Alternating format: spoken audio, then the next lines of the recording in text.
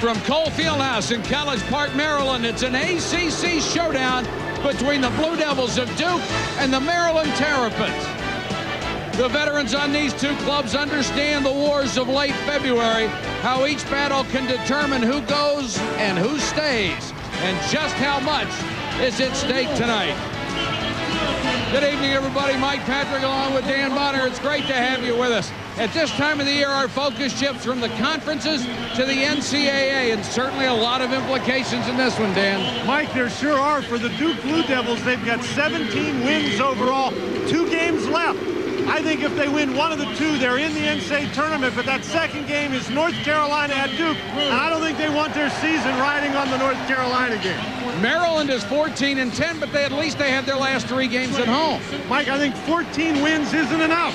They've got three games left at home. I think if they run the table, they guarantee themselves a spot in the NCAA tournament. If not, it's up in the air. They need this one. Well, we're ready to go from College Park, a sellout crowd and two teams who have been to war before. We'll be back to Cole Fieldhouse in a moment.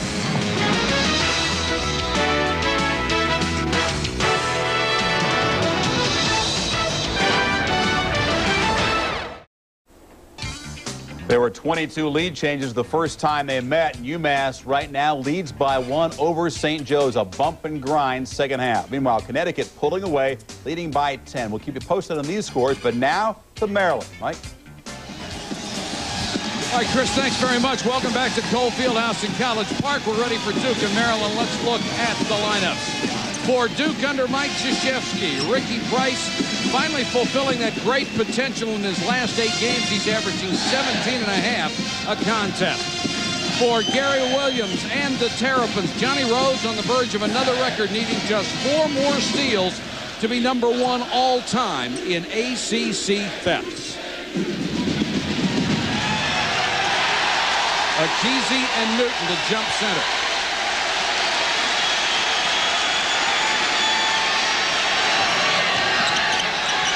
Maryland controls the opening tip. Mike, I think one of the keys to this game is going to be which team can get easier baskets. Both teams like to run up and down. Maryland likes to pressure. Duke's going to have to take care of the ball. Rhodes in the lane gets the first two. And here comes the pressure against Collins, who has developed into quite a point guard. Price, two-on-one advantage. Collins for three.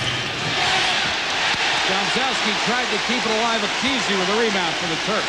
If you can beat the pressure, Mike, you're going to get some open shots, but you've got to make the shot. Wide open, Rhodes, two for two.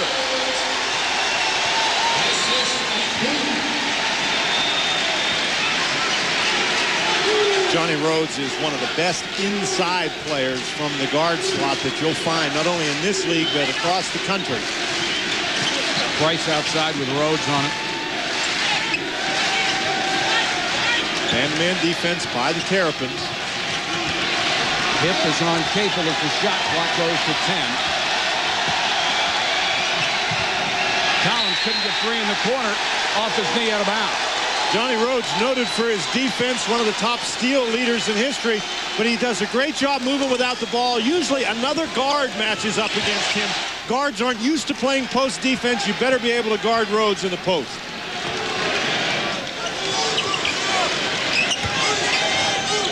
Simpkins working outside the zone to Booth. Kicks it back to Hipp. Maryland not really a great three-point shooting team, Mike, so the zone is a pretty good change up on the defensive end. Having a perfect night. That's his first threes. Hit all three shots from the floor. And the Terps lead at 7 nothing. Johnny Rhodes, the Maryland leader in three-point baskets in their history. He certainly looks like he's pumped up to play in this game. This is his last time around. I think he knows how important this game is. He takes you inside, and then you just can't forget about him outside. What a great job by Simpkins to draw the defense. You better not leave Rhodes that alone. Really, he's done it by volume. He's a 32% long-range shooter. So you got to jack a lot of them up there to be number one all time. Ekezie with another rebound. Duke can't buy one early. Duke's not being very patient on the offensive end. Ekezie double team down low. Gets the roll. Mike Krzyzewski wants a 20-second timeout.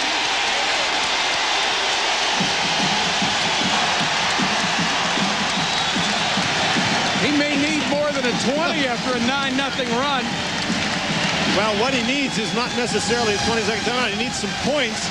And Duke on the offensive end, Mike, one pass and a shot, and I don't think that's the way you want to play against a Maryland team that gets up and down so effectively.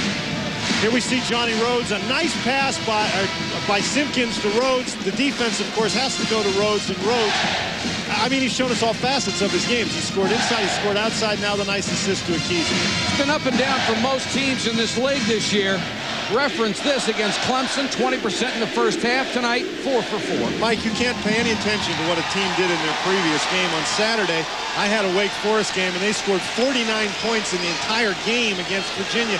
And then last night, I had Wake Forest against North Carolina. They scored 52 points in the first half. Inbounds, Domzalski comes back to help out with Collins.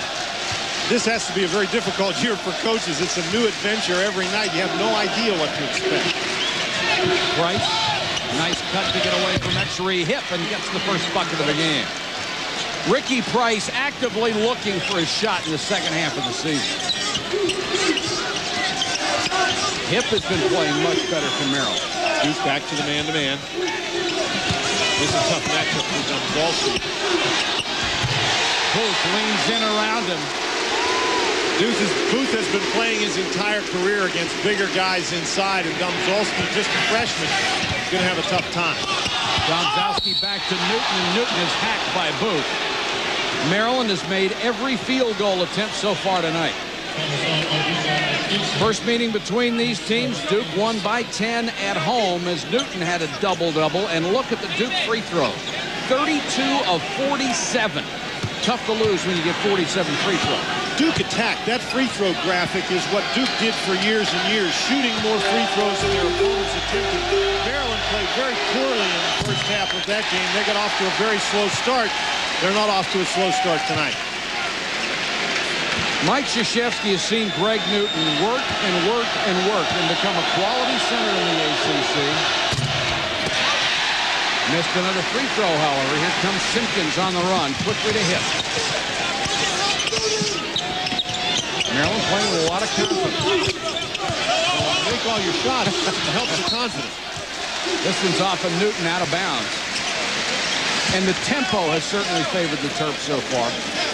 Maryland can get it into a quick tempo. They can really use their athleticism. They've got guys like Simpkins who can really get to the basket. And Ekezie has done such a nice job as the season has gone on. That's three rebounds now in the game for Ekezie. Has been a real presence inside. One of those guys who's hit a couple of different plateaus as Rhodes misses. Of course, Ekezie doesn't have much experience Not at all. basketball. Two years before he came to College Park. And one of the things that Duke does very well, get the ball down low and the blocks to Newton. Newton ran the court very well. The Maryland Maryland can't set their pressure if they don't score. A nice job in transition.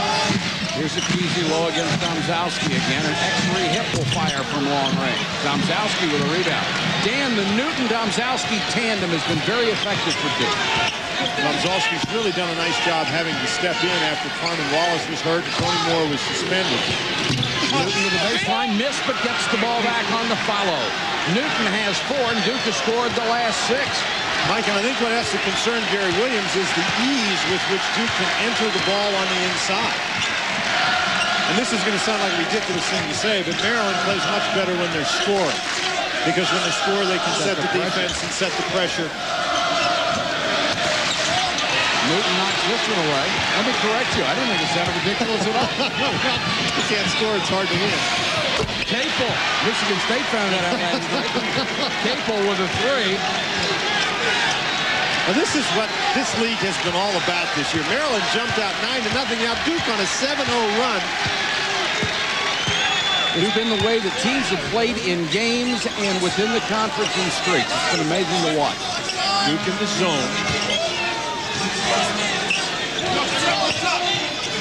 This is Simpkins. Shot clock 11. Now Simpkins is going to have to create something. Gives it off the road with six. Nice Rhodes pass. Comes to a Ekezie.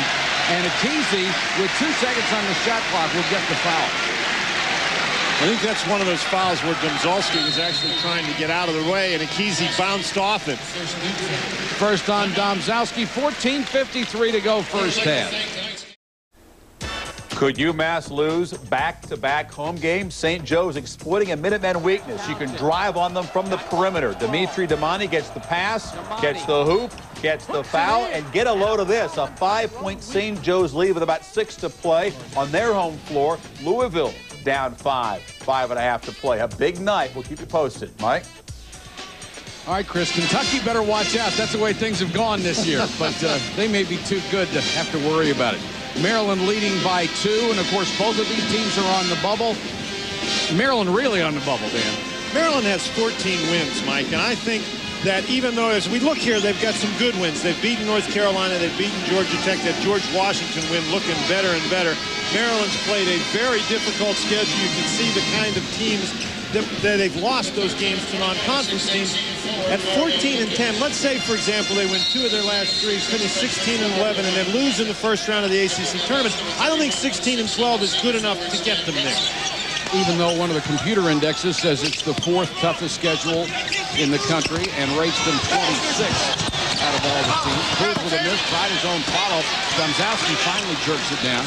Those computers are just aids, and I think the men and women who make the decisions, they're going to look more at that 16 and 12. There's a lot of teams out there who won, who have good wins and, and good losses, if you will. It's going to be real difficult for the committee. And as we found out, it couldn't even win the chess game. but I think if Maryland, if they win their last three and they finish 9 and 7 in the ACC and their Bruce gets a foul going to the basket, you're not going to be able to deny them a bid. Even if they go and they lose in the first round of the ACC tournament, they're going to have to be in. So I think that's the thing that Maryland's got to look at. Yeah, they might get in at 16 and 12, but if they win their last three games, I think they eliminate all the questions. Because at this time last year, Gary Williams was not around with his ball club. He was hospitalized with pneumonia. And it, it, must be something that goes around at Maryland. Their radio play-by-play -play guy, Johnny Holliday, is not here tonight. He's down with bronchial pneumonia, and we certainly wish him well if he's watching. Our best goes out to John. Oh, you know John's watching. Streaks so far tonight. Maryland started off hitting everything at a 9-0 lead, but in the last 223, Duke has outscored them 9-2 until this free throw situation. Terps up by three at 12-9. Cruz hits one. Maryland is a very effective team going to the basket. If they attack the basket, they're very, very effective. Duke in that zone defense that they've shown a couple times, trying to keep them out on the perimeter where they're not quite as effective. Capel has had some shooting troubles lately. Looked pretty good on that one. It's a three. And the lead is cut to one. Part of the Duke success recently has been their ability to hit Rhodes with a nice catch, but then Domzalski got a piece of the ball on the way up. Wojciechowski in as the point guard. He and Collins will work in the backcourt with Capel. So it's a three-guard set. Capel nearly lost it. Wojo for three. Brunson offensive rebound. And throws it past the slipping Collins. We talked about Maryland being on the bubble. Duke in the same situation, although you would think, Dan, at 17 and 10, they've got to be in pretty good shape because they played the toughest schedule in the country. I think so. The thing with the about Duke, they're they're 17 and 10, where Maryland is 14 and 10, and the reason for that is the Great Alaska Shootout. Duke went out there, they beat Indiana, they beat Iowa, they won that. They've got the 17 wins. The only thing that they need to be concerned about is Rhodes scores again inside. They don't want to be stumbling at tournament selection time. They need to win one of their last two games, and I think they guarantee themselves a spot. Johnny Rhodes, who averages 17 points a game, already has nine. He's a tough matchup for this Duke squad. And matchups have become so critical this year, especially in this conference, when people are not overloaded with talent. Capel, good head fake, and hits another one. Two for two from long range for Capel. We're tied at 15. He's hit all three long-range shots tonight. Collins with back-to-back 27-point games, a lot of those coming from three-point range. Now Capel's lighting it up from three. That's quite a weapon. You got guys oh. who can score from the perimeter. You got to go out and guard him. That loosens it up inside. They're going to call a block on Newton as Simpkins crashes into him. Check some of the scores coming your way tonight. Georgia Tech in Tallahassee leading by 13 with five minutes down in the second half. Clemson against North Carolina State. You know if NC State's playing, it's going to come down to the last 30 seconds and probably the last shot. And Illinois and Indiana locked up in a close one. There's Lou Henson trying to go out and spot. This one bounces off the knee of LaRon Profit, another freshman who's getting a lot of time for Maryland and playing well. Capel, who's on fire, comes back the other way. Domzalski trying to keep it alive, and Lucas with the rebound. Mike, he's on fire with spot-up jump shots. He's not on fire with those wild runners down the lane. Lucas, good range, hits the three. Mario Lucas has hit 26, now 27 three-point shots this year. He comes off that bench cocked and loaded, doesn't he? he does that. Never met a bad shot. Capel got around Rhodes and may have twisted an ankle on that play. Offensive rebound. Newton is fouled from behind by Lucas. Newton playing really well inside tonight. Mike, as Capel, he made the good fake and got around, but then he fumbled the ball, and rather than collect himself, he shot it right away, and so he missed it.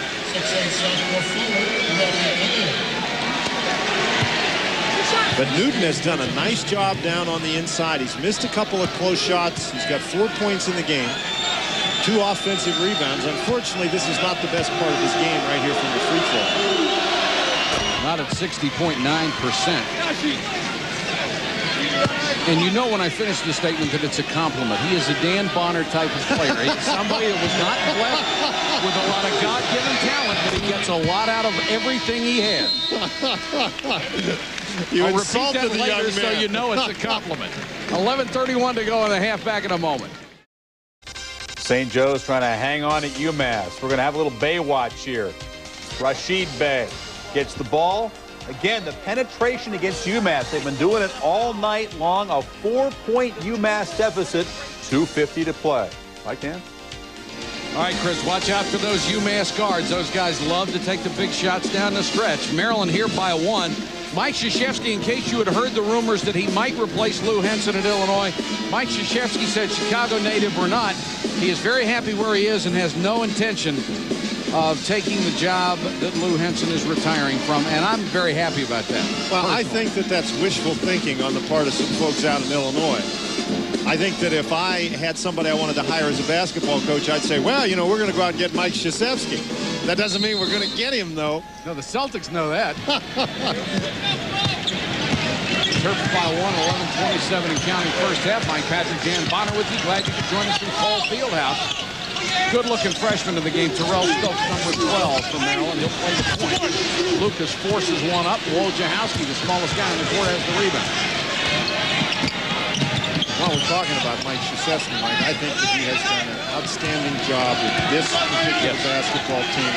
They were losing a lot of close games early, but they never got down on themselves, and they continued to, to my mind, to have fun out there, and they finally got it turned around. Said something very interesting early in the season. We have to identify who we are, and I think they did that, and they have lived with it and grown because of it. Shot clock at seven. Price blocked from behind. Great play by LaRon Profit, the 6'8 freshman from Charleston, South Carolina. Ricky Price very quick to the basket. This is something that doesn't happen to him very often. Profit gets his hand right on top of the ball, and that forces the held ball situation, alternating possession. It goes to Duke. And again, that's why that rule is so silly. Making great defensive play doesn't get you anything. Price with a miss. Newton keeps it alive. Domzalski kept it alive. Now Newton was over the back of Profit. The Maryland fans wanted to foul. They're not going to get it. Wojciechowski with a steal from behind. His teammates have to help him on that one. Wojciechowski scored his career high 13 in the first game against Maryland. Wojciechowski, Mike Krzyzewski. Wojciechowski, of course, is from Maryland.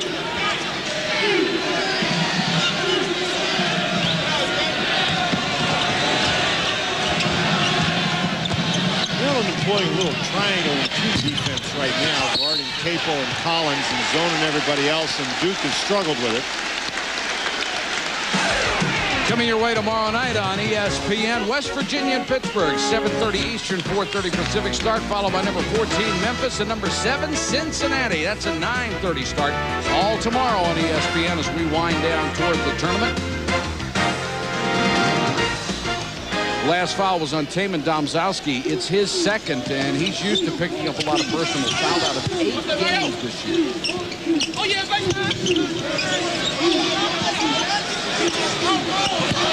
Tough lob pass. Can't be handled inside. Ball goes out of bounds. Whose ball? The officials will confer. And it goes to Duke. Rhodes really wants the ball inside. You can see there's no help behind him for Duke to pass. Just not very well thrown. Maryland, however, is going to keep this ball. It went off Domzalski. But that was just a bad pass inside to Rhodes. He was open, a good pass, and he's got a basket. Another conference, and Maryland gets the ball back. Help, help, help, Lucas wheels on Newton. Didn't get the roll. Brunson with another rebound. That was an outstanding drop step by Newton. Newton sets a great screen and allows Price to get to the basket. Wow. Duke's first lead of the ball game with 9.24 to go first half. You have to score baskets to help your team. Newton just picked off Rodney Elliott, and Price was able to get to the goal. There's a lot of those little things. Stokes has been superb in the control of the ball. Here's Rhodes out of the corner. Lucas, offensive rebound, took his time to Hipp, and Hipp walk. Duke likes to get it out in transition, and Ricky Price is a great guy in transition, but coming just into the left of your screen, you can see Elliott bouncing out of the play, and it's because Newton. Now watch Newton coming down, sets the screen, he prevents Elliott. That's like a block in football. He just prevented Elliott from getting to the play. Collins wheeling into the lane, steal ahead to Stokes. Stokes behind the back, road to Lucas,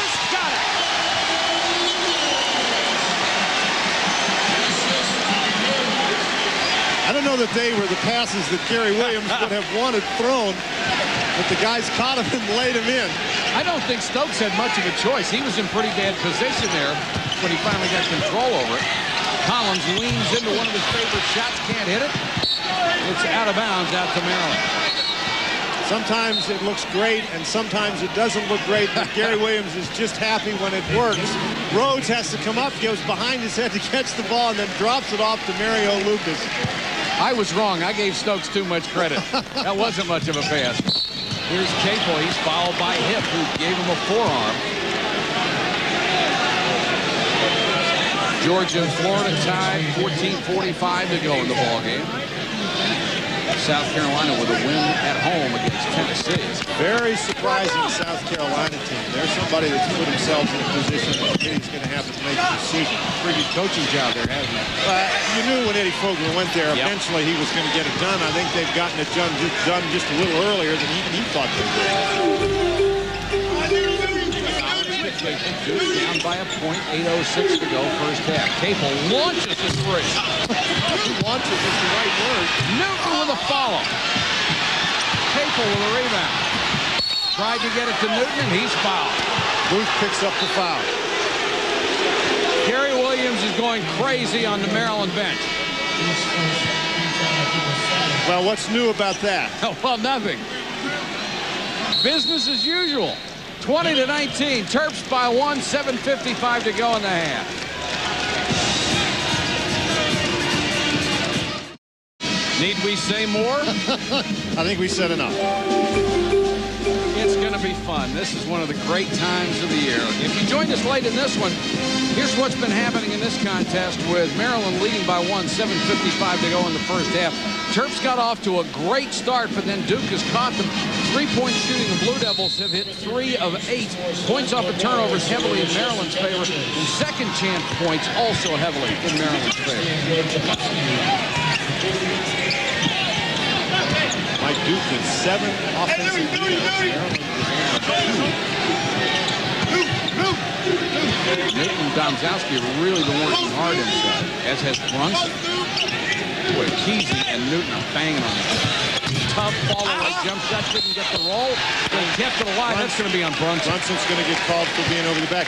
Newton is a very confident player down on the inside. He may not be real fluid in terms of athletic skill, and he may not be the strongest guy, but he knows how to get position. That's an excellent pass. The only mistake he makes here is he fades away a little bit. I think sometimes if he jumps into that shot, takes it to the basket, then he may get fouled. That's what I said earlier. Being involved. If you're going to continue to insult the man, we're going to start getting letters from his parents. Capel couldn't save it. My And best scoring skills- is certainly leveled off in this one. My best skills were turnovers, personal fouls, and had shots blocked. Well, I always tell everybody Ralph Sampson broke every one of your records. Did it the first day he showed up. Stokes stays in at the point. This is Jasikevicius pretty good shooter from outside to Hipp. Booth, nice move down the lane to, to Hipp or to Ekezie, but a foul before the shot. Mike Krzyzewski thinking that that foul should have been called a non-shooting foul. Hit. Booth is one of those guys. He plays a power forward spot, but he's got the skills of a point guard, and he's hard to defend out on the perimeter when he's going to put it on the deck and take it to the basket. Ekezie, the freshman from Nigeria. He was a question mark when he was signed by Gary Williams and the Terps because of his lack of basketball background. But certainly he was a fine athlete, an excellent soccer player in his native land. So he's got the quick feet and can run. And we keep hearing about all these guys, particularly come from Nigeria, who play soccer. They must have some tall soccer players over there. And big. Wasn't Manute Bol supposedly a soccer Yes. player? You got to be kidding me. He was the goalpost. Capel working hard against Hipp. That's a tough matchup for him, especially on the outside. Tries to shoot over the 6'8 Hipp and drains it. Apparently not too tough. That was a great job to get his feet set and get the shot off quickly. Hipp end with his size usually can bother perimeter shooters. Capel has 11. Jasikevicius, contact with Wojciechowski, and the foul will go against Jasikevicius.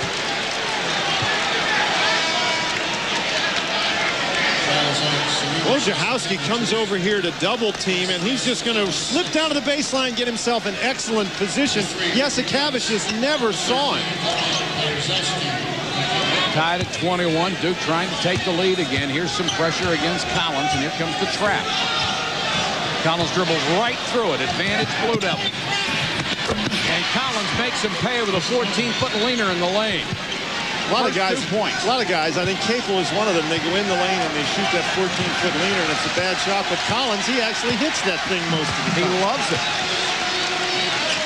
He's also one of the best end-to-end players in the country. Yes, Cavins is for three. Brunson with another rebound. Stan Brunson has given us quality minutes underneath four boards tonight. And I think that's extremely important for Duke. They don't have much of a bench, and so they got to get contributions from everybody coming off the bench. Collins, that's a tough Oh, my. Anyway, holy cow, what an effort by Collins. Gary Williams wants a 20-second timeout.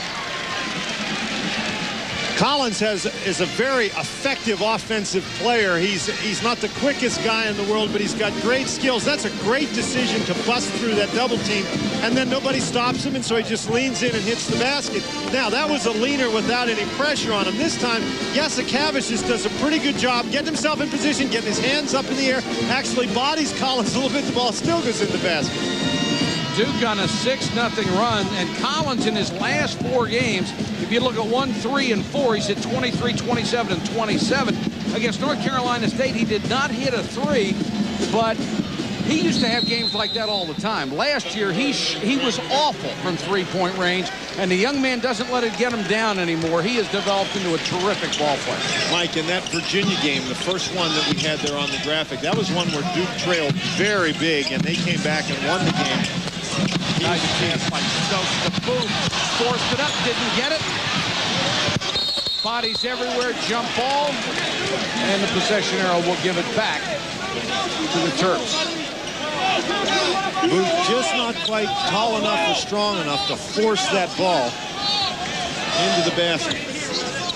That young man's had a wonderful year. Yes, he has. Averaging nearly eight boards a game. Pretty, pretty good for a guy who's 6'5", who's always played against bigger people.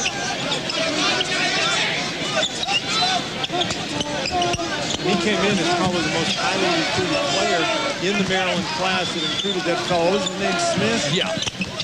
Far more highly regarded than Joe Smith coming in. And never minded taking the back seat either. And that's going to be a travel. That's a good attacking move by Booth, though. He knows he's got Domzalski on him. Quicker than Domzalski, just shuffled his feet as he started that spin move. Turnover story, 10 combined first half, 4.56 to go. And Maryland needs to force more turnovers. Domzalski wants some help, gets across the timeline. If I was Domzalski, I'd want help, too, if I'm holding the ball.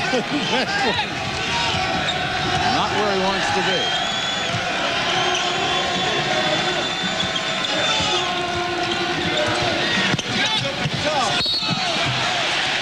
Offensive foul. Both teams really stepping up the defense. Capel picks up his second. One of the problems that Jeff Capel has had at points during his career is sometimes he doesn't make very good decisions. When he draws Ekezie, he's got to stop and pass the ball to Newton for the dunk rather than take it all the way to the basket and make and create the charge. It was just a poor decision. Rhodes with a miss. Oh, Profit's going to pick up the foul, but he very nearly picked Newton's pocket. Newton got poked in the eye. That's a pretty good way to steal the ball if you can get away with it. Poke the guy in the eye, and then he loses control of the ball. Works for me. Gary Williams obviously didn't see that part of it and wasn't happy with it. Well, and Newton didn't see it either. Uh, Rhodes, after starting out very quickly from the field, misses the, the shot. Newton comes down with the Oh. rebound and Profit. That's the WWF. The, the, he rakes his face.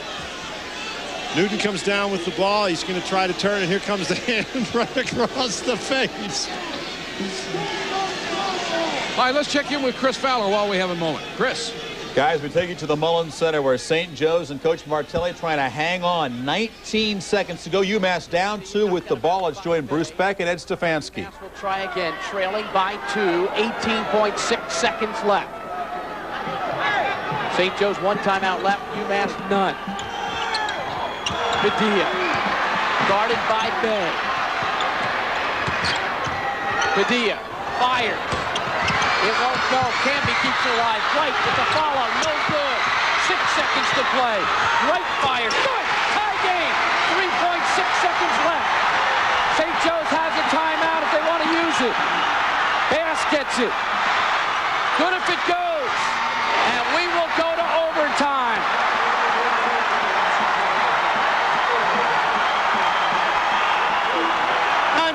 Unbelievable action. Wow, Bedlam and Amherst. UMass forcing overtime. They have won 10 consecutive OT games. We'll keep you on track of that game. Now back to Maryland, guys.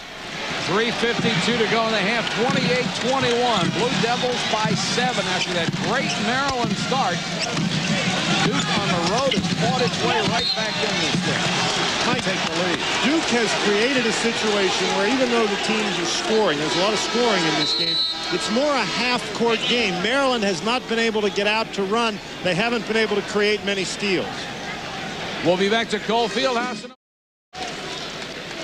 The Blue Devils of Duke with a seven-point lead, and part of it is effective half-court offense. Jeff Capel at the top of your screen is going to run Exree Hipp off a screen by Newton. Now watch Capel's feet as he catches the ball. He steps back while he's squaring his body to the basket. That creates enough space where he can shoot it over top of the taller Hipp. Duke, 11 of 27. Capel, when he has gotten himself set before he shot the ball, has been very effective. He's gotten a little trouble with some wild runners in the lane. The numbers on Jeff Capel tonight as he sits alongside Mike Krzyzewski with 3.41 to go in the half. Full court pressure. Price, dangerous cross-court pass. Wojo picks it up to Newton to Brunson. Brunson waited too long. Got triple team and Rhodes blocking. Now steal back the other one. Crowd wanted a walk on Newton, and now they're going to call a foul against Maryland. Oh, boy. The guy who got his hands on that loose ball more than anybody else was Wojciechowski. We've been talking about yep. how Wojciechowski's been all around the loose balls. He is the one who eventually came out of there. Maryland their game is to force turnovers, Mike, but they've turned it over seven times in the last six minutes. And a couple of the turnovers have been like this. Guys just losing their balance with the ball. Wojo tries to pick it up, and then Newton gets it to him. Wojciechowski gets fouled. Now, we were told at the beginning of the year, if you go down on the floor after a basketball and attempt to roll over, it's travel. Yes, that's correct. Well, he did more than attempt to roll over. Well, see, he rolled over, so he just didn't attempt to. You're going to get technical on me now, Mike. All right. Here comes Simpkins. Four on two to Rhodes. Price may have gotten a hand on that, and players scrambling everywhere. Mike, that's been the story of the first half for Maryland. There have been a couple of times where they haven't converted easy opportunities. But Gary Williams is not pleased with the result, but he's pleased at least that his team is out in transition. That's what they need to do. Rhodes just lost the ball going up. Simpkins goes for a steal. He cracks into Brunson. They'll call Brunson for the travel. Simpkins may have gotten away with one there. Well, you wanted the guy called for a travel when he fell down. That's right. Now you knock him down, they call him Okay, all right. Even up. Mike Krzyzewski is not very happy with that. No, result. he's not. But of course, he doesn't have the most objective point of view out there. Baseline, Profit, no basket. Offensive foul. He falls.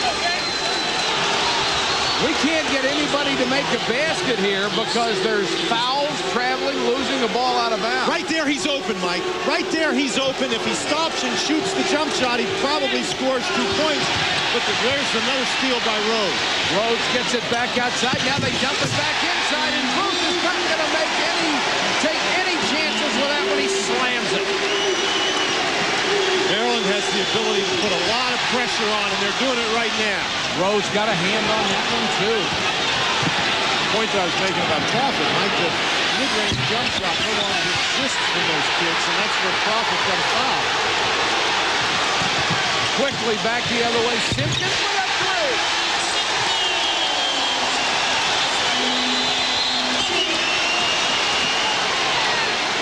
Mike, there's a foul called against Profit, but what we've seen in the last three or four possessions what was a comfortable half-court game for Duke has now become an up-and-down kind of transition game.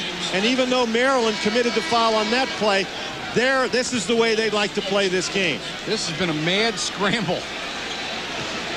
Simpkins just pulls up from three-point range and drains it. And again, that's in transition. That's the way Maryland wants to play. They'd like to get the ball up and down. They're finally able to score a couple of baskets so they can set their pressure goes to the line where he's nearly an 80% shooter this year. Misses the first. He's played a lot of minutes in this first half. Yes, he has. Mike Krzyzewski has enjoyed using a three-guard combination when he can. Duke with a real small lineup on the court right now. Stokes kicks it back to Lucas get that shooter's mentality just inside the three-point line. Pressure, good catch by Price. Duke, you see, they're slowing it up a little bit, Mike. They'd like to get some easy opportunities, but they've got to be careful. They don't want to get in just an up-and-down kind of game. Keep you up to date on some scores outside of the ACC. Halfway through overtime, St. Joe's and UMass still tied.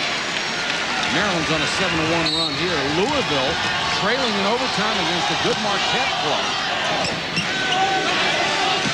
Marquette's another one of those teams. They win that game. The committee has another decision to make. That's why this is important for Maryland. There's other teams that are that are in the same kind of a situation as they are. It's not like you have to get to a certain number and you're in. Everybody else is in the mix. Oh boy, Rhodes and Simpkins both switched out, and Capel was open and he didn't get the ball. Now Simpkins going to pick up the foul. Price lost it on the way up. I think they're going to give it to Stokes. Duke screening down underneath. And watch, Capel down on the bottom left sets the screen. Both the guys go with him. Capel wide open under the basket, but Wojciechowski doesn't see him. Mike Krzyzewski and Gary Williams out at the scorer's table. Uh, Gary, Williams is asking the fans not to throw things on the court. Of course, what they threw on the court was a piece of newspaper, and that's probably not as dangerous as some other projectiles they can hurl, but you don't want that kind of stuff coming out at all. Price on fire his last eight. Has five points in this one, averaging 17-5 in the last eight ball games. Like the Duke was ahead seven and ahead comfortably of an autopilot, and Maryland has changed the entire tone of this game in the last three, four minutes. And they've done it with what Gary Williams has always done it with. That's pressure. Simpkins. Duke stays in the zone with that small lineup. Capel, Wojciechowski, Collins, Price, and Newton. Rhodes had the shot, passed on it. Booth with a left hand, won't go, knocked out of bounds by Booth. Coming up at halftime on our Delta Faucet halftime report, Chris Fowler and Digger Phelps standing by. You saw UMass in trouble, still playing in overtime. We'll have an update on the ACC and a look at Grant Hill against the Sonics. Crowd wanting to walk, they're not going to get it. But they do get a three-second call against Newton, and he can't believe it. Neither could Mike Krzyzewski. Newton went in there. He thought Wojciechowski was going to shoot the ball, so he went in to get rebounding position. Then Wojo didn't shoot it, but Wojo passed it, and then he thought Capel was going to shoot it, so he stayed there. You ought to go explain some of these things to Mike. You'd understand what's going on a little better. Simpkins drains a three. And the Terps are all the way back, Mike tied at 31. And pressure, pressure, pressure.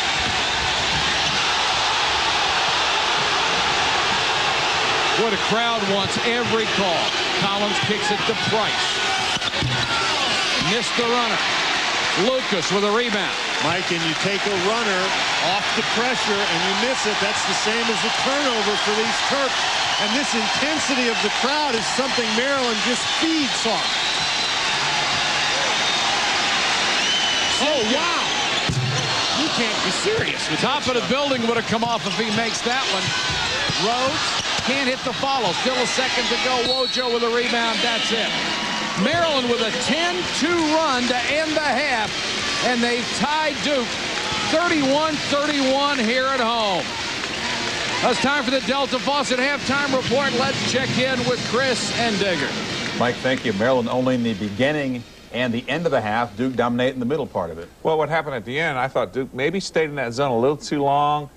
Maryland responded against the zone, got back in it with that ten to two run. A lot coming up on our Delta Faucet halftime report, scores and highlights in the ACC, Marbury and Georgia Tech in an important game against Florida State. And we've got overtime games, double overtime games, a lot, including the story of UMass and St. Joe's coming up.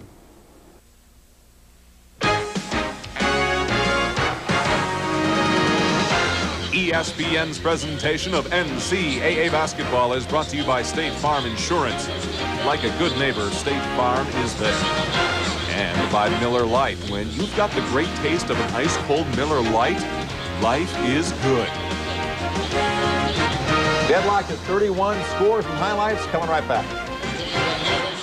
I expect we'll go to overtime, Chris. We always seem to. 31-31 here, Maryland against Duke. Mike Patrick, Dan Bonner. Glad you could join us for the ACC tonight. And if you missed the first half, you missed one run after another.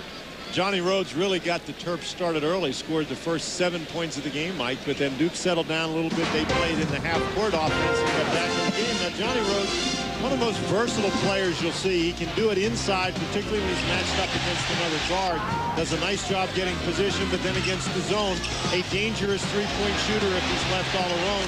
Rhodes scored the first seven points of the game. Duke came back when they were able to make it a half-court game. Jeff Capel coming off a screen. Watch as he gets his feet set, and he gets the three-point basket off. Jeff Capel scored three threes in the first half. You can see the comparison. Rhodes only had two points in the half after scoring those first seven, and Capel with three three-point field goals finished with 11. Set to go in the second half. Capel hit three out of four three-point shots.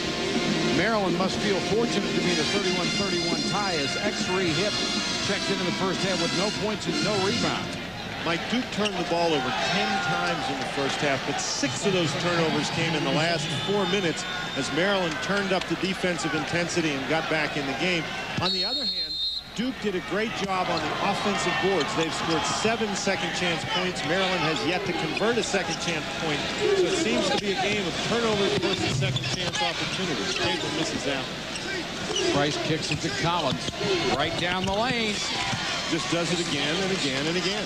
Loves the scoop shot. And Gary Williams puts his hands out, palms up in the air and saying to his players, all right, how does he keep that? Keep doing that. Let's stop that. Brown trying to go back to work inside. Ekezie is fouled by Newton. That'll be two on Newton. Let's check the men in first half stats for you. And it's very interesting. Mike Duke only shot 38%. They were only 50% from the three-point line. But you can see the key for, or the free throw line. You can see the key is the rebounds. Duke with a big advantage in the rebounds, particularly the offensive rebounds, the second chance points. Maryland has been forced turnovers in the last four minutes, converted those into baskets, and got back in the game. And Duke had as many offensive rebounds as Maryland had defensive rebounds in the first half. That's not a good sign if you're Maryland, and I'm sure Gary Williams pointed that out at halftime. Coaches has a way of, of indicating those kind That probably caught his attention. Here's the Maryland pressure once again, and they get another steal. Exree Hipp stepped in the passing lane to pick it off. Simpkins bumped by Price. First foul of the ball game on Ricky Price and two quick fouls against Duke as a team here in the second half. Mike, you create those turnovers and suddenly for at least a few seconds it's a scramble game and Maryland's very effective at that type of offense. Hipp has it down low, just threw that one up and Domzalski with a rebound. Mike, just because you're close to the basket doesn't mean it's a good shot. I think he was looking for the foul. Here's Collins, fouled by Simpkins on the way in. And as we start the second half, Mike, the officials really getting after the physical play out at the guard spot. Non-shooting foul, so Duke inbound. Long lob to Price. Rhodes had one steal in the first half, so he's still three short of breaking Chris Corchiani's all-time record, but he created that one. Very quick hand plays the passing lane well. Simpkins tries to dump it to Rhodes down the lane. That's a tough pass to give to somebody at point blank range.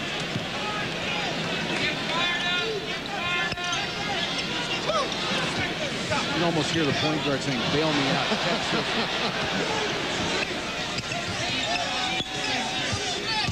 Price with a great first step into the... Oh, how did that go in the basket? Let's see if it counts. It does. Mike, he got hit across the arm, and the ball basically flew out of his hands. He was in the shooting motion. But watch, the ball just flies out of his hands, and it's going to go in. Oh.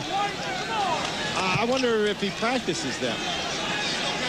The penetration to the basket, Rhodes coming down across the arm, and the ball literally just flew out of his hand.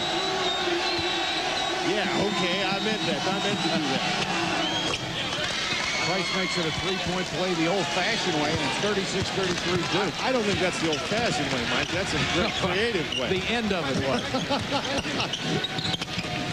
oh, that's the new-fashioned way. Here's Domzalski, who just runs over Ekezie, and that's been the problem with Domzalski's foul trouble. Sometimes, like the proverbial bull in a china shop, he just whacks into somebody. Mike, if you're going to bump a guy inside, you do it before he catches the ball because the officials aren't as likely to be looking at you. Newton with another rebound. Collins, another scoop. Mike, you know what happened that time? Johnny Rhodes and Ekezie both tried to get the ball away from Newton. You're not going to take it from Newton. You get down the court and play defense, and because Maryland didn't get the defense set, Duke got an easy basket. Collins has eight for the game averaging 16 points a contest. Duke really likes the half-court game better in this particular situation, but they've done a great job taking advantage of the opportunities that have been made available, and that was made available because two guys went after the rebound, and there's no reason for that. Rhodes, Hipp, offensive rebound. Exree Hipp with his first bucket of the game and draws the foul. Exree Hipp at 6 feet 8. That time just beat Ricky Price at 6 feet 5 to the basketball. Hipp got himself in good position. Price not strong enough to push him out of there. And as a result, he uses that height advantage to come down with the ball. Gives the fake Capel. Now, why would a guy stand under there, Mike? He's got his hands up in the air, and he drops that one hand and hits him. If he just keeps his hands up in the air, he doesn't get that foul. And that's his third. Tough pass to handle, but Capel does.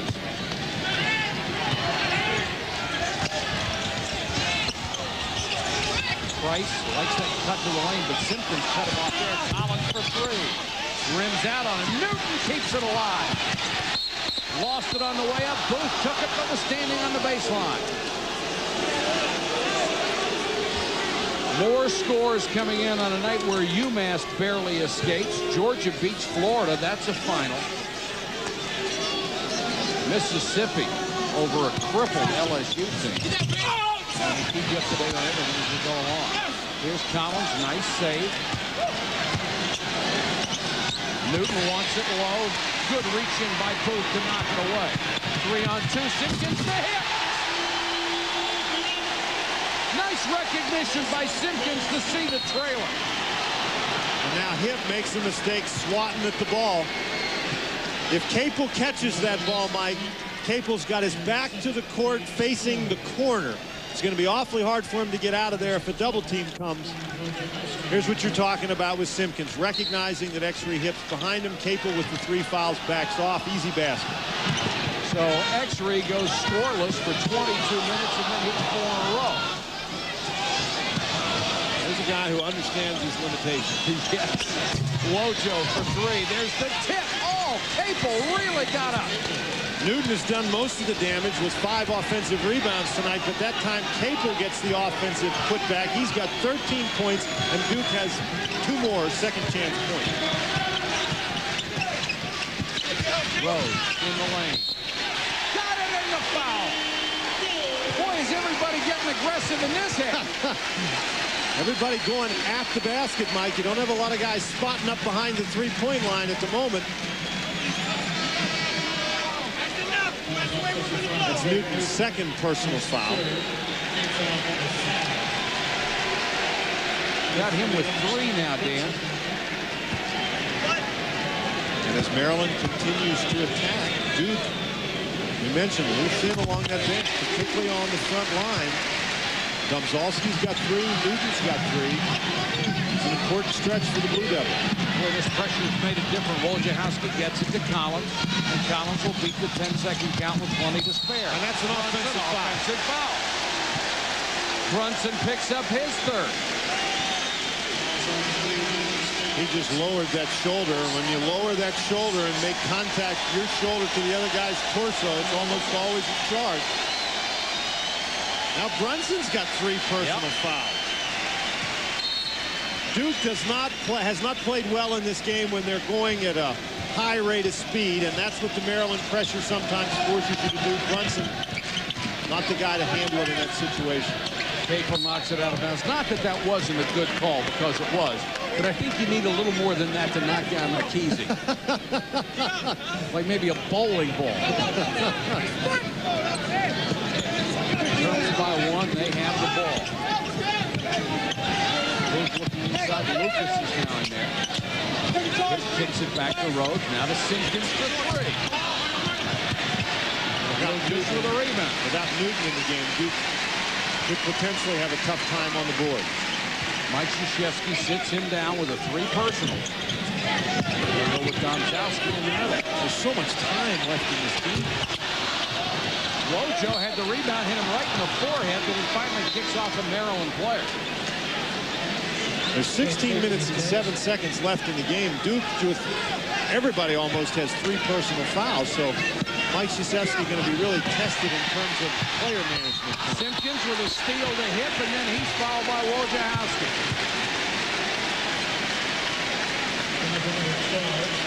That's one on Wojo, the sophomore from Severna Park, Maryland.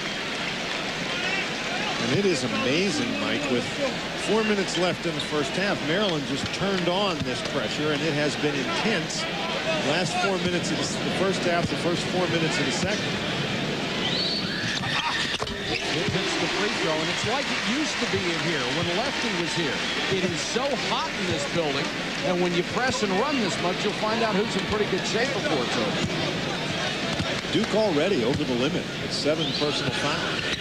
Maryland's committed only three here in the second half as hit both, hits both free throws.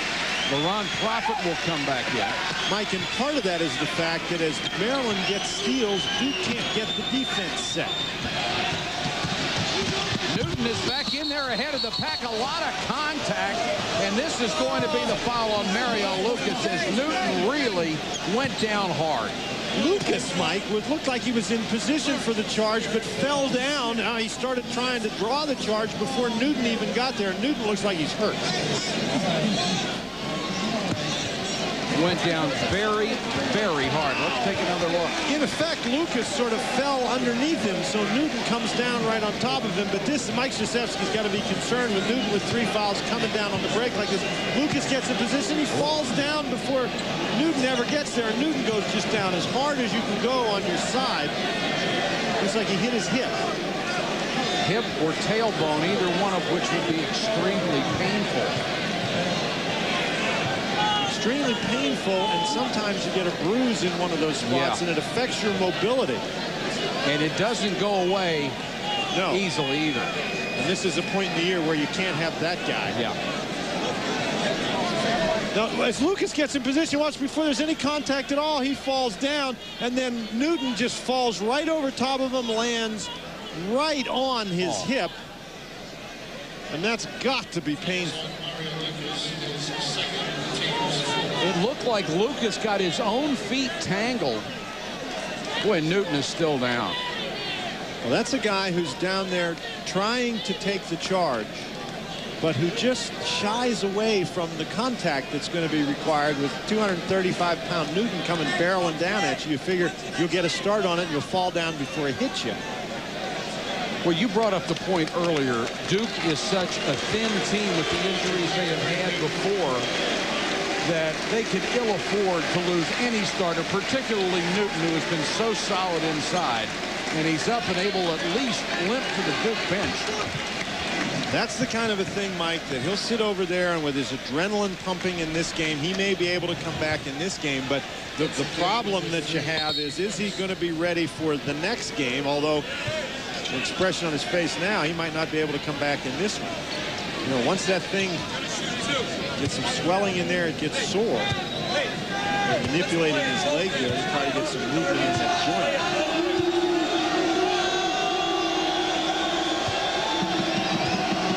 So Price, who's a 71% free throw shooter, will shoot the free throws for Newton. You have the option of designating someone in event of an injury. And Duke basically has the munchkin lineup.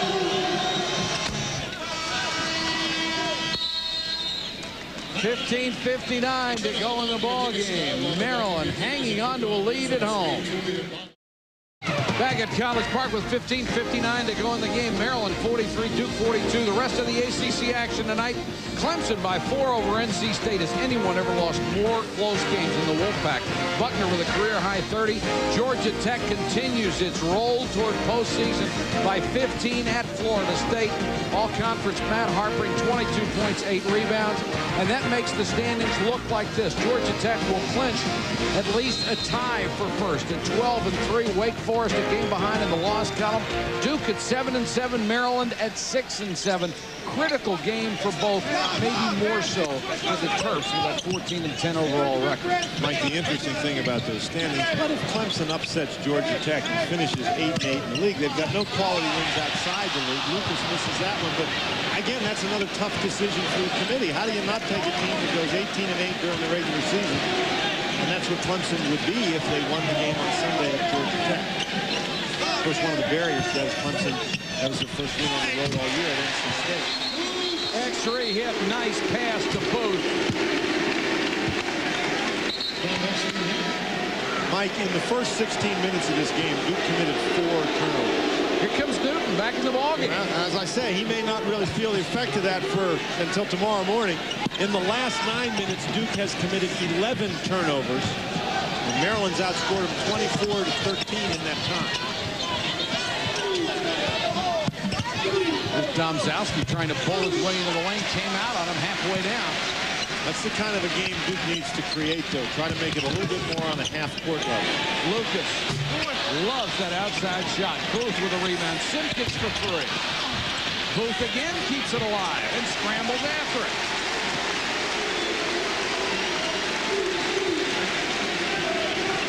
Duke had a tough time handling the ball. That one actually bounced right off Newton's hand. Booth with nine rebounds tonight. Four offensive. That is a two. A foot on the line for Profit. Profit now throws to five. Bad pass. Price somehow got back to it. Well, Lucas didn't really jump for the ball. He sort of hipped Ricky Price problem for Duke is not only are they turning the ball over, Maryland's now getting the offensive rebound. It's a bad combination for the Blue Devils. Domzalski couldn't handle a tough bounce pass. Here comes Simpkins. They want the lob. They get it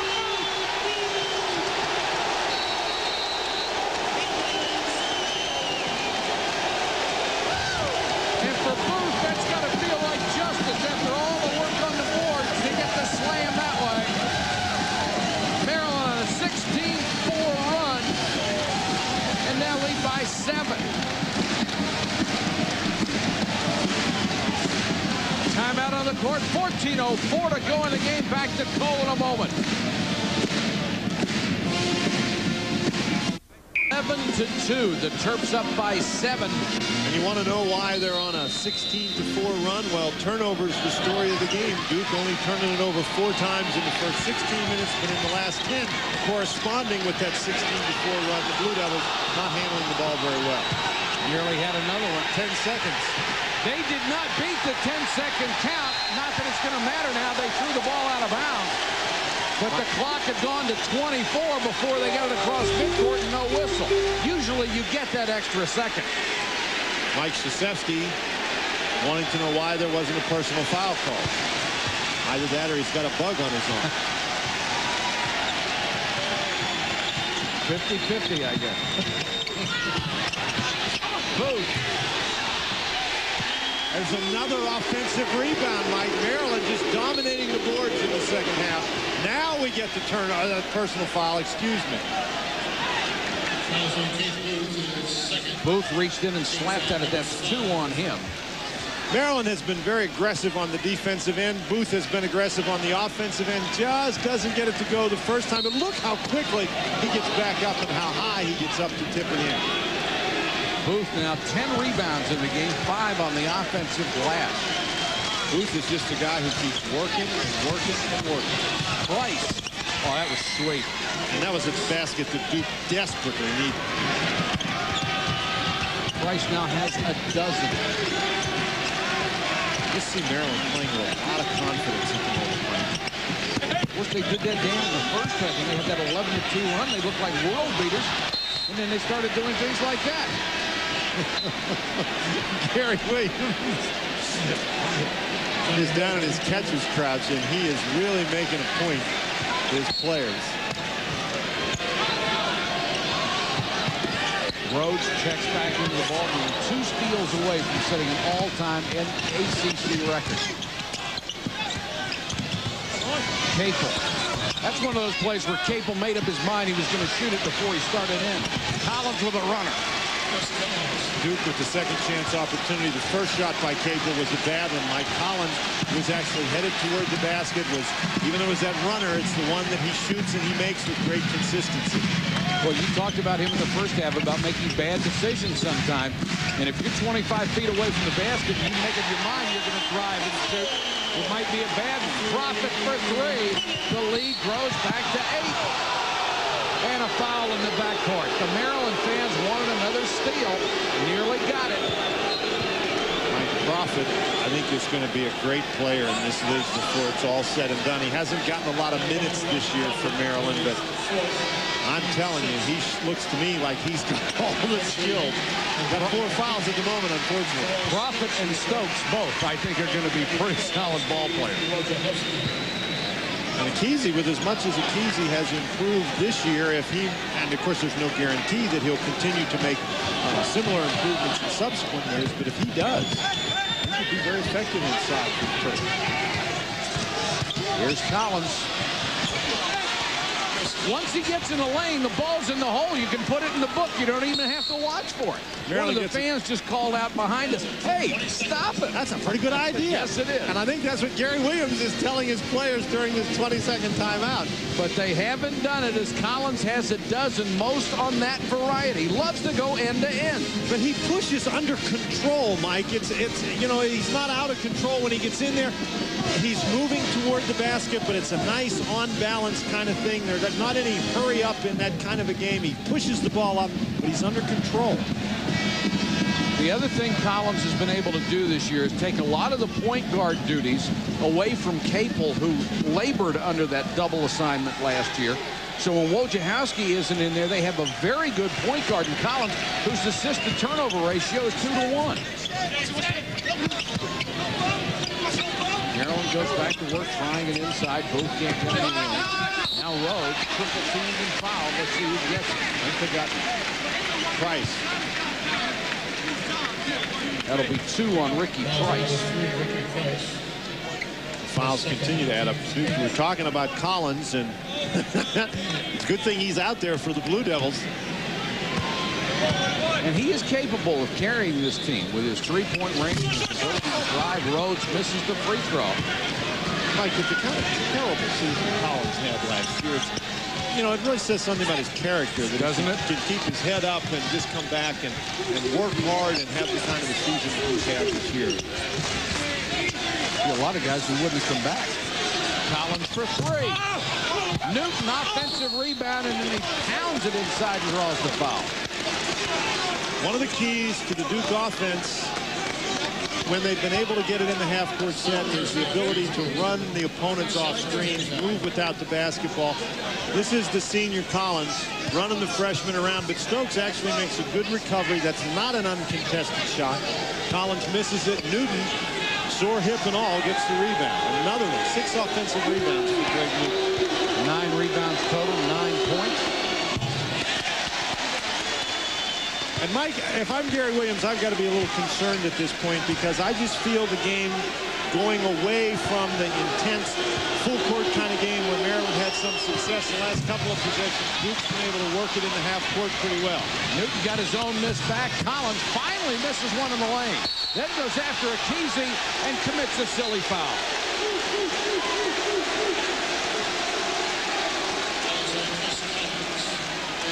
It's that time of the year on ESPN and ESPN2. It's championship week starting this Saturday. See 65 games, 29 championships will all be bleary-eyed.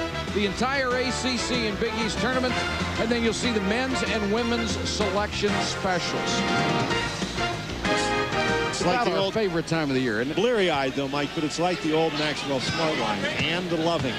yeah, absolutely. Ekezie. Slips that one through. He has six points tonight. He's only a 53% free throw shooter, but Looks better than that, doesn't it? absolutely that ball slipped in there nicely. Four out of five tonight. Of course, all you have to do is compliment a free throw shooter. You know where the next one goes. Into the hands of the blue-shirted Greg Newton.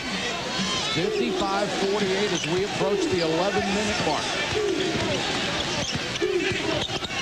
Stokes is really hawking the foul.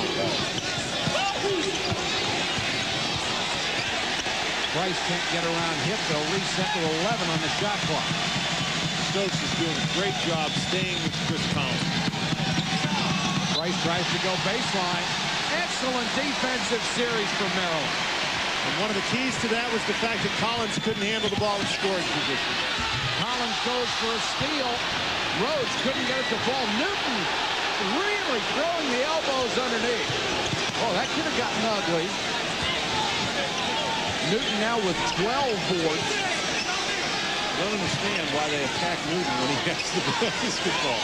Wojo for three. Boy, that's a shot. Big basket. 55-51. Half court though, Mike. Half court kind of a game. Not the pressing transition game that got the Terps the lead. It's amazing how the game has fluctuated back and forth in that man. It's been incredible. Great feed inside. Booth had it blocked by Newton. Then the foul on Domzalski. That's actually against Wojo. Booth again at six feet five or so in there is going to try to power it up to the basket. That's just a great play by Newt. Booth actually a little too far from the basket. A little closer, he can get the two-handed slam attempt. And those would be very hard to block without committing the foul. Mike, we talked about the last game when Duke shot 47 free throws to Maryland's 25. In this game, the Terrapins outscoring Duke from the free throw line. But that's because Maryland's been attacking inside. Ekezie back to the line. Maryland by four. 10.07 left in this game. Ekezie missed them both. Wojo comes out with a loose ball. Wojciechowski's done a much better job of handling the ball this year. Collins around the screen for three. Well, you know you've got touch when you get a bounce on a three-point 22-footer. He had a bounce like that at the end of the North Carolina State Yes. game in Raleigh that won the game. Booth straight down the lane. Offensive foul on Booth. That's four on him. And a great defensive play by the Blue Devils, who have done it for years. Mike, they've got the game more of a half-court kind of game. Collins coming off the screen, getting his feet set, knocking down the jump shot, and now Booth trying to take it all the way to the basket. You know, if you get by out there, stop and shoot the 12-foot jump shot because you know if you go all the way to the basket, somebody's going to be coming trying to draw the charge. Ekezie and Booth will both get a rest. Well, Newton has been back in there playing with three personal fouls and a bad hip, and it doesn't look like anything is affected. Now he'll get a little bit of a breather. Domzalski and Brunson up front for Mike Krzyzewski. Capel, tough pull-up jump shot. Here comes Simpkins. Waits for help. Rhodes. Got it. Johnny Rhodes has 14 points, approaching his 17-point average. And Maryland goes back to the triangle and two. They're guarding Collins and Capel man-to-man. Everybody else playing zone. Collins will try to go down the lane, and they're going to call Simpkins or Duane Simpkins for grabbing him as he started down the lane. That's two on Duane Simpkins. Simpkins has the assignment against Collins in the man-to-man part of that triangle and two zone. Brunson gives him just enough screen to get open, and then Collins with the hand check against Simpkins. Check it. That's going to be four on Simpkins. We had him for two. You look at the scoreboard, they had him for three. That was his fourth. And Collins, an excellent free throw shooter, hits the first one. Collins has really come on in the second half. He has led this ball club. One out of three from three-point range, 12 of his 16 coming in the last 11 minutes. Misses the second free throw, Hipp for the rebound.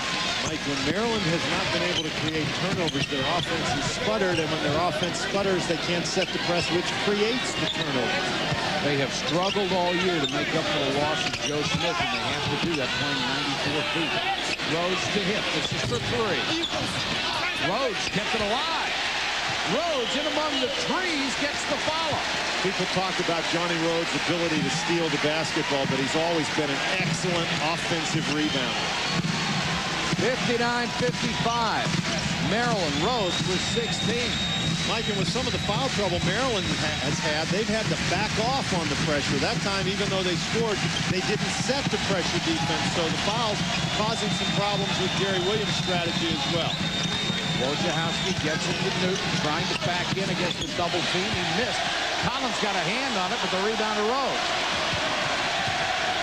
Stokes pushes. Tries for three. Collins, another pretty good rebounding guard. Excellent defense by the Terps last time against Newton. Didn't let him go to the basket.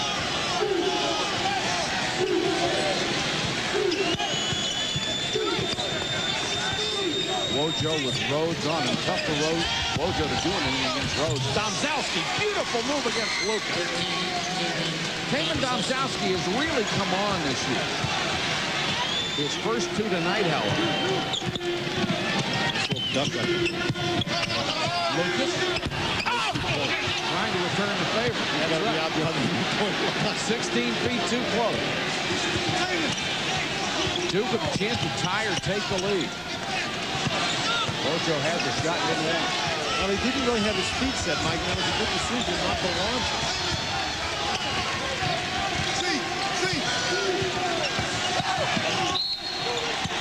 Whistle away from the ball. They're going to call Newton for pushing off.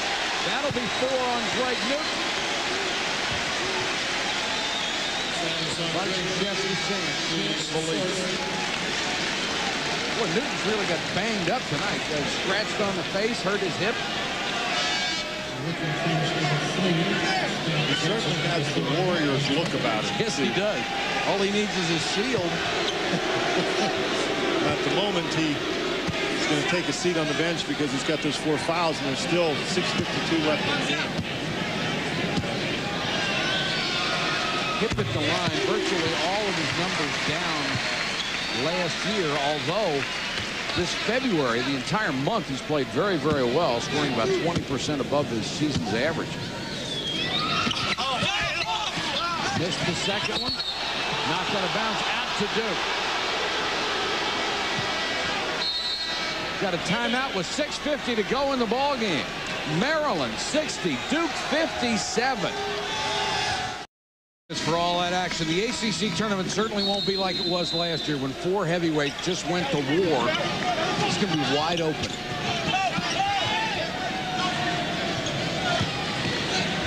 Collins kicks it ahead to Price. Duke down by three with 6.41 left to go from Cole. Mike, there's no heavyweights in the ACC, but there's pretty good welterweights. Yeah, maybe light heavies, too. So, great looking freshman point guard. Lucas, that's the ring. There you go. That's what he needs. 16 feet further out. The lead grows to six. Boy, Stokes did a great job pushing the ball up the court, drawing the defense to him, and creating that opening. Collins down the lane, got the bucket and the foul. Boy, he's just become such a clutch player. And that's really the first time he's been able to get past Stokes out on the perimeter. This is just the senior taking the freshman down the lane. Protects the ball with his body. Watch as Collins goes down the lane here, how he protects the basketball with his body, forcing Stokes to come over, come, try to come through him to get the ball. Three-point play for Collins in the lead, cut back to three. Newton back in the game with those four personal fouls. It's that time as we approach six minutes, he and Domzalski in there together.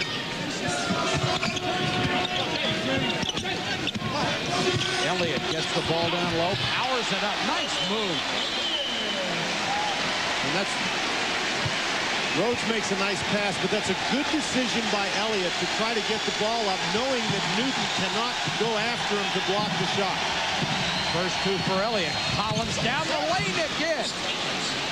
Get him a patent on that. Collins 21.17 coming in the second half. Stokes explodes and then missed the shot. Everything but the finish. Collins back the other way. Down the lane, stolen but a foul. That's on Stokes. It's his third. The Duke Blue Devils in some foul trouble inside. And Johnny Rhodes recognizing that a perfect pass to Elliott. And while he shoots the ball back over his head, it's a nice job to get it up, hoping to get the foul call against either Newton, who's got four, Domzalski with three. We're in the double bonus the rest of the way. Collins trying to get back-to-back three-point plays. Collins has had an amazing second half. He's, Wait a minute, they're not going to count the uh, bucket. That must be it. no, they didn't count the basket. Collins shoots two. Misses the second, so the lead is two. Domzalski with a follow, and we're tied. Well, it was a three-point play, just a little differently than you expected, Mike. reverse order. it's been quite a game. Everybody's going to need a shot of adrenaline before this one's over. Hipp nearly lost it down the lane. Lucas for three. He's had to give him two. His foot was on the On line. the line.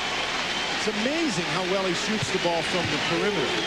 The problem for Maryland is Newton's matched up against him inside, so he can't pound it into Lucas and draw the foul from Newton. 6'8", 230 with a lot of range. Capel with a hanger in the lane. Tied again at 67. We could play well into the night at this rate. Just another game in the ACC. Rhodes, oh, what a move on Capel. Are you kidding? And Newton got his fifth foul. What a move on the baseline. That, be, that may be the key play of the game. Newton comes over, and, you know, if you're Newton, you just got to get out of the way.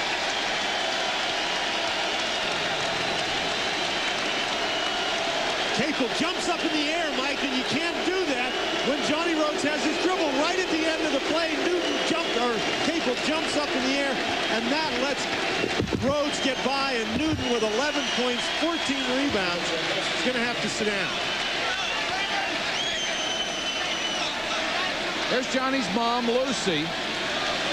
Really enjoying seeing the uh, winding down of her son's senior career. Well, she knew that Johnny still had his dribble. Jeff Capel forgot, though. Boy, what a sweet-looking move. Have to go back and check for uniform parts after that one. Blue Devils want a timeout with 4.18 to go. We've got a timeout on the floor. Terps by two. Don't go away.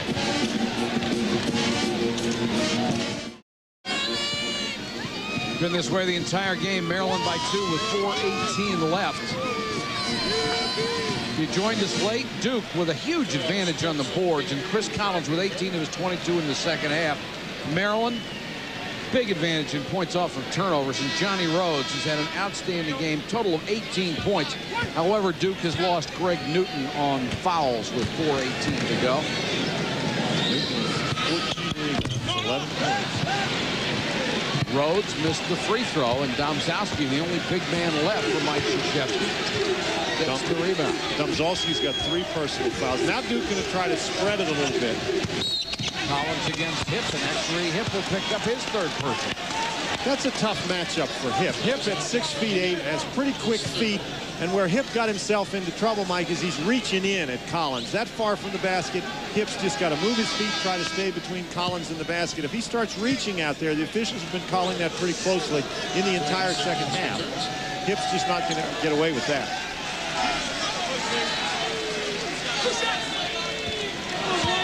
Hipp will sit down. 4.06 left. Collins goes to the. Three out of five free throws now. Three out of six. The 70% shooter. And with Hipp out of the game, Gary Williams puts Terrell Stokes back in. So now three guards for Gary Williams to match Mike Krzyzewski's three guards. Collins hits another free throw. One thing to keep an eye on in free throw shooting at the end of, of game, players get tired, especially in this kind of an environment with this kind of pace. It's just that much tougher to shoot. Capel matched up against Lucas. Rhodes kicks it to Lucas. Short, Capel with a rebound. And see, Lucas is a perimeter player. Despite his size, he's a perimeter player, and so Capel can, can match up against him. And Collins is going to draw another foul. Stokes really upset at the call. That's going to be four on Terrell Stokes, and Gary Williams is right with him.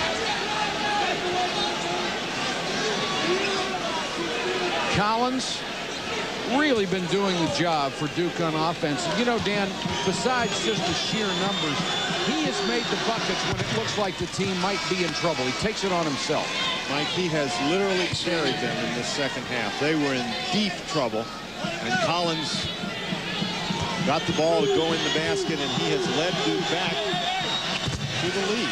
Amazing. Collins now with 25 points. And Duke up by one with 3.39 left. Gary Williams tries to get Lucas down inside, see if he can post up against Capel.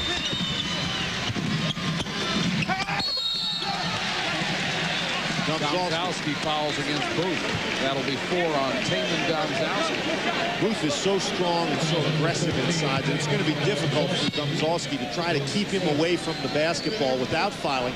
Fouling. There's going to be some bumping in there, and Domzalski doesn't have any more margin for error. Here's the foul situation. Nearly the entire roster. We've lost only one player so far. That's Newton. But four players from Maryland who have had significant minutes tonight are in foul trouble. Booth hits the free throw. As we said before, if Domzalski fouls out of the game, it's going to be like the house dropping into Munchkin land. They're going to have to put little guys in. Tied at 70.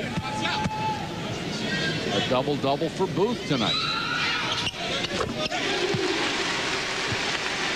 14 points. Maryland regains the lead, and here comes pressure.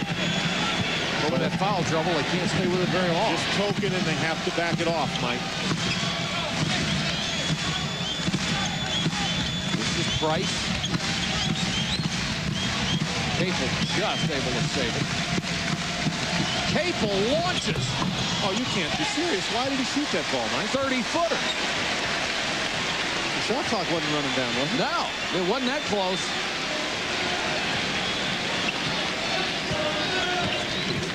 Those are the kind of things that get you in trouble not only during a game, but especially at the end of the game.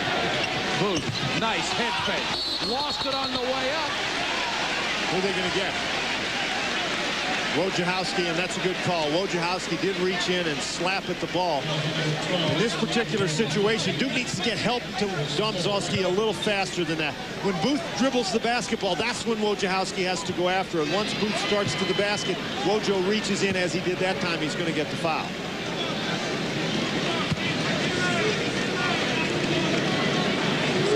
Booth, four out of four tonight on the season, almost 77%. That's in the ACC's top 10.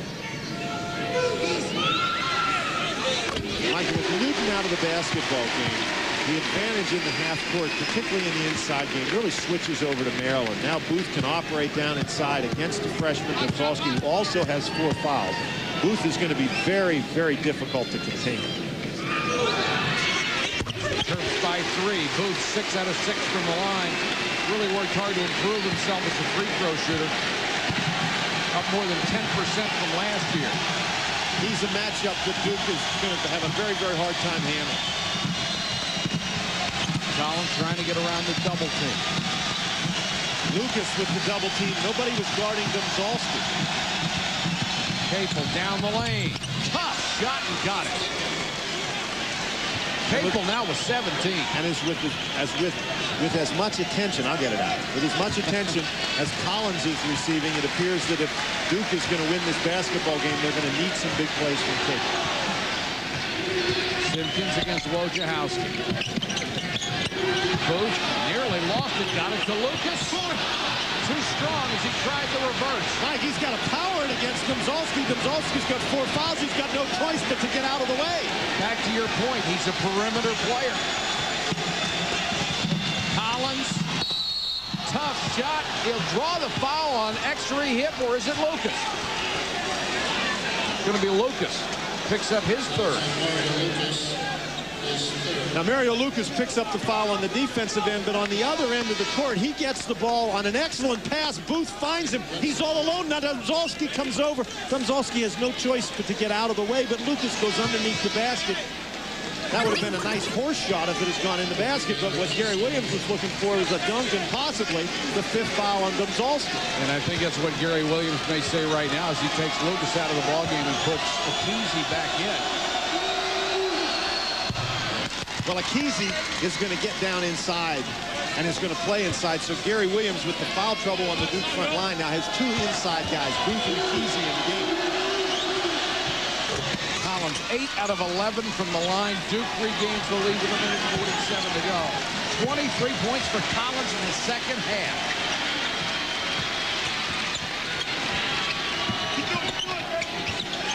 Booth wants it low against Domzalski. They double down on him. Now Capel has to back off. And Booth, nice drop step, but he missed his shot. Domzalski did a nice job not fouling on that particular play, and Duke, the Duke defense did a nice job forcing Booth to hurry more than I think he was interested in hurrying. We haven't said that very much this year, have we? Did a nice job of not fouling. and you're right, and he's improved in the last couple of weeks. 105 and counting. Collins launches the three. Tough shot. They didn't really have his feet set. Simpkins back the other way. Got it to Booth. Booth fouled by Capel. Four on Capel. Sports Center coming up after the ball game. Chris Berman and Dan Patrick. Must be uh, old home week. Shaq hosts the Heat. Another UMass thriller as they go to overtime. More on Gretzky. Chris has that uh, I've been to Maui tan on. Must have taken a chopper back to uh, entertain us on Sports Center. We'll look forward to that. Booth at the line trying to regain the lead for the Terps short on the first one. Of course, His first miss tonight in seven tries. Everything two shots now. Been that way for a long time. well, we've got a lot of guys on the bench in foul trouble. If we go to overtime, we're going to run out of players. Gary and will have to play. They'll probably enjoy that. Booth hits the second one. We're tied at 74. Maryland calls for timeout. They want to talk about the strategy down the stretch. 54 seconds left from Cole Fieldhouse. We're all knotted up.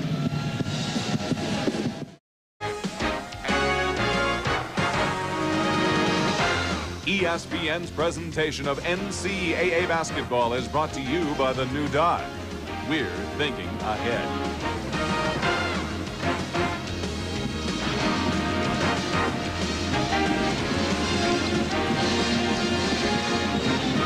54 ticks of the clock left from Cole Fieldhouse. Duke and Maryland tied at 74.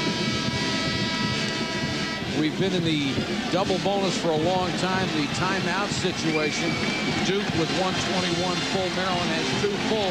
The critical possession arrow is in Maryland's favor. Mike, in this situation, I think that there's 54 seconds left in the game. If Duke can get the ball down the court and get a good shot, not, a, not any shot, but a good shot quickly, then they they can actually get two for one in this situation. But I agree with that. Doesn't look like that's what they're going to do. Maryland with some pressure. Wojo. Now they're going to work all the time off the clock. Now Maryland does not want to foul. Domzalski with a left hand, missed. Ekezie got a hand on it, then lost it. It's out to Duke, and now the shot clock is off. Now Duke can hold it for the last shot. The key to that whole setting was the fact that the Domzalski's shot hit the rim. The shot clock reset. Now Collins wants a timeout as he was having trouble getting the ball inbounds. Mike Krzyzewski signaling for the 22nd timeout. Gary Williams has to be pretty frustrated. One of the things that his team has not done well tonight is rebound the basketball on the defensive end. That time they just couldn't get their hands on the ball, and as a result, that nobody, no individual player from Duke was credited with that rebound, but the team still gets it, and now Duke has the opportunity to hold it for the last shot. Yeah, let's take a look at the standings. Georgia Tech winning tonight a game up on Wake Forest in the loss column, clinching at least a tie for regular season number one. North Carolina, Tar Heels just coming apart. Nine and six down the conference, falling to third. Duke, as you see, at seven and seven. Maryland one game under 500. Mike, it's important that Duke handled the ball well. Maryland is going to try to pressure and Maryland needs to block out. Last year's game at Duke was decided on an offensive rebound by Joe Smith as time expired. And in this situation, again, I'll say it, Mike, it's not always the shot that wins the game. It's that offensive rebound. Shot clock is off. You go to Collins, you go to Capel. It's Collins. Air ball. Maryland has it, calls timeout. No, I think there was a foul, foul on Capel. Capel's gone.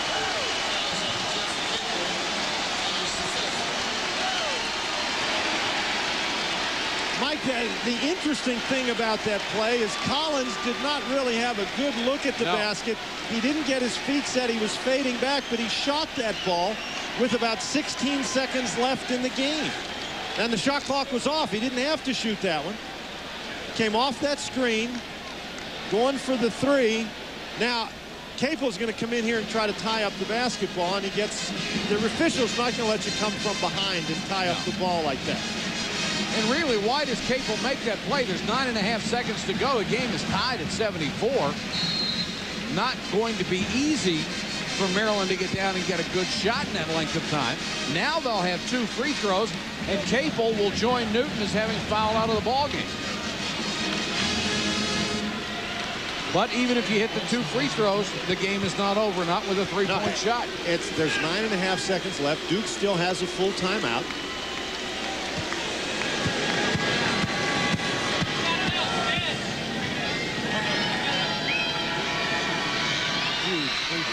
Booth. Hits the first one and rattles it home. He's hit eight out of nine. And down the stretch, Maryland has gone almost exclusively to Keith Booth, and he has produced.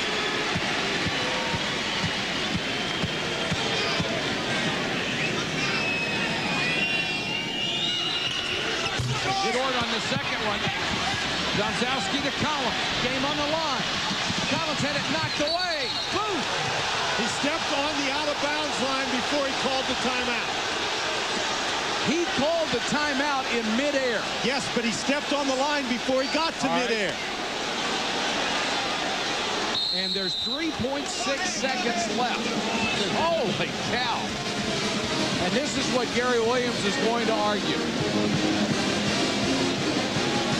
And Larry Rose is telling him, hey, he called the timeout, but only after he stepped on the line. Collins very nearly loses this ball. The ball's going to the corner. Now Booth is going to get it right there. He steps on the line, and now he calls the timeout. That's an excellent call by the official. Boy, good job by Larry Rose. I mean, there, there has been so much intensity in this game, and it's been an extremely well officiated ball game as usual.